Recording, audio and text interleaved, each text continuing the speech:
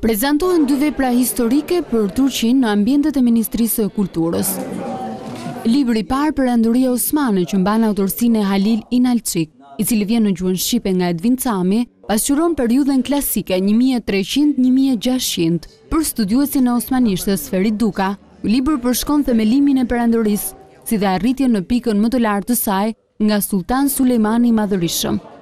Shekujve kur perandoria u ngrit në këmbë nga një principat në Anadollin veriperëndimor, rreth Bursës së sotme, në Turqi, dhe që në trajtën e një orteku, Brenda disa dhjetëvjeçarëve u rrit në një shtet të fuqishëm dhe pastaj nëpërmjet edhe kontributit të sulltanëve të shquar, siç ka qenë Murati i Dytë dhe sidomos Fatihu ose pushtuesi i botëve, pra Sulltan Mehmeti i Dytë dhe sidomos sidomos pastaj pasardhësi i tyre Sulltan Sulejmani i Madhërishëm, Perandoria nga një shtet modest u kthye në një fuqi botërore.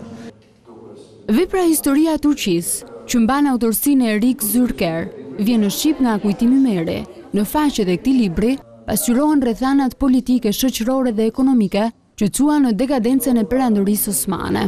Një tjetër osmanist gjithashtu kontributor i rëndësishëm në studimet e sotme osmanistike, merret jo me fillimet e Perandorisë, po me fundin e saj, pra i kushtohet qindvjetorit të fundit të Perandorisë dhe lindjes nga gërmadhat e kësaj Perandorie të shtetit modern turk.